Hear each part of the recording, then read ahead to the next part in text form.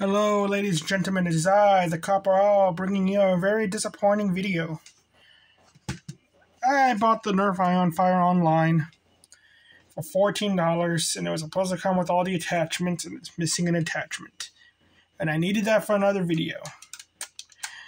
So I might I might end up returning this, but I might as well make the video. I'm not. I was gonna use my grading systems to try to grade it for a um, non-flywheel blaster, but yeah, I'm not doing that. I'm just this is really depressing. I'm tired. But anyway, the um I got this because there's some great potential with this blaster in that it is the only single fire blaster that I'm aware of because there could be another one, but I'm pretty sure this is the only one that has a barrel and stock attachment points. So it can take this, and it can take this,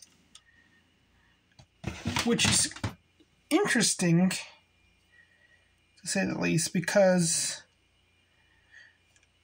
it fits my requirements for this, and it's one of the better blasters because there's enough gap between these. It's not as thin as like the Strife. You got to squeeze your hand in there. It, there's enough gap between the two. The rocket launcher is high enough on this riser, which I think that's what they're techni- technically called risers, as you can see, that it won't hit this part of the the front attachment. The only problem is, is that you got to take a rubber band and put it on the on this part so it could stay still because there's no little thing to dimple. Or besides that, that got me thinking. Technically, it is a, attaching this is still a single shot blaster in game types where single shot blasters are required. This thing could technically have these attachments if it's technically allowed, and all that. You, which I thought was quite interesting. But then it got me thinking even more. Because, oh, just this weak little blaster taking these attachments and all that and becoming a cool, useful thing. And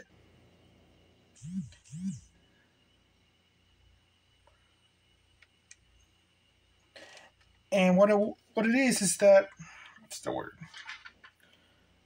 Um, it reminded me of a movie I saw, Paintball. It's a horror movie where group of paintballers they're playing the most dangerous game essentially. A group of paintballers come in for like an extreme paintball game, and it turns out they're being hunted and all that. So, but you're supposed to put together a, a firearm to fight essentially a juggernaut, and that got me thinking of a game type based off that. Just the most dangerous game in which you look for the attachments. You like it's like a scavenger hunt mixed with mixed in with like a kind of a sudden death. Well, a scavenger hunt mixed in with like a juggernaut. I, I don't know the name of the game type. Where you look for the attachments in order to fight the juggernaut. So you can't beat the juggernaut unless you use all of the unless you have the whole entire completed thing essentially and all that ideal like you can if you hit him with a mega dart like you could stop the juggernaut in his tracks for a short amount of time you hit him with this it won't work but it's like a king of the hill type of thing whoever's left standing or has all these parts first wins so you use this to take out your the other players and all that.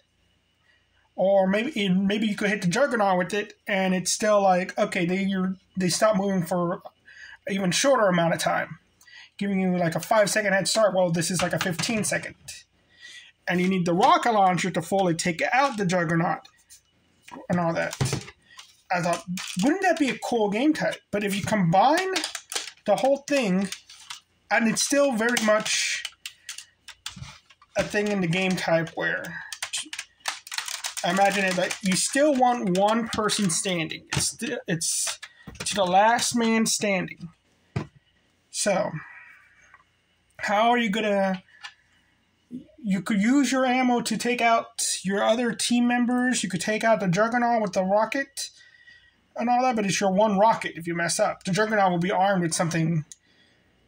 I, I want to say to be armed with a sledge fire. I like the because I believe that's something what the Juggernaut was armed with in the movie.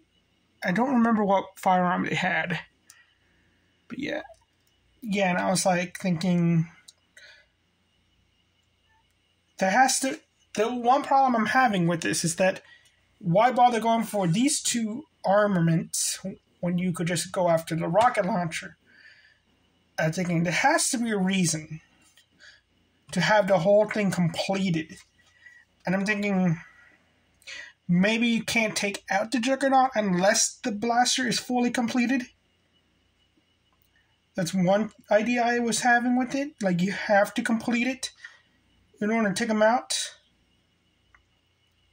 But you could still use the ammo and all that on your fellow players. So, so there you go.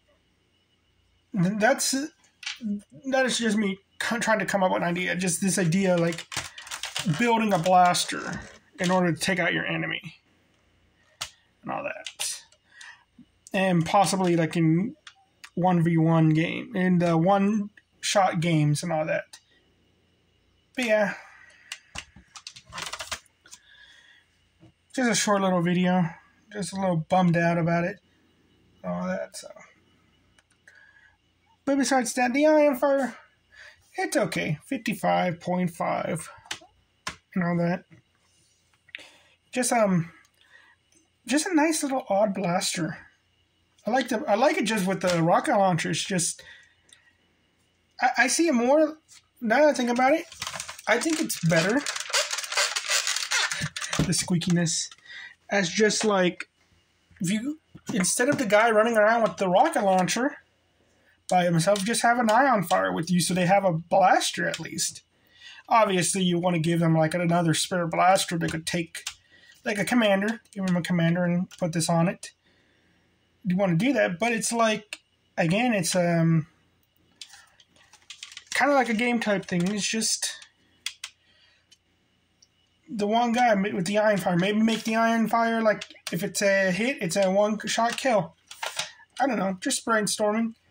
Because just this ability to, mo- to make this combination is just so neat for a single shot blaster. But yeah, well, t- and actually not that. Com- it's actually not bad. It's fairly comfortable. Pew pew. Well, thank you very much, ladies and gentlemen. You all have a nice day. Bye bye.